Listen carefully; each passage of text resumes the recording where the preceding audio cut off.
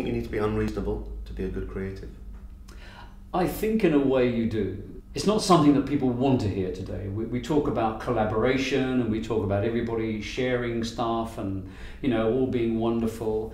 Great creativity, great ideas are not reasonable. They're unreasonable because they're trying to change a point of view. I am trying to constantly change some the way somebody feels or thinks.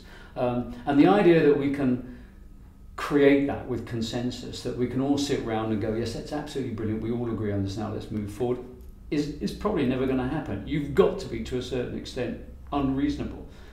The trick is to try to be unreasonable and pleasant at the same time. But you can be unreasonable and a bastard, or you can be unreasonable and funny about it, or you know, hopefully pleasant about it. Um, and that's also important because then you, you bring people with you.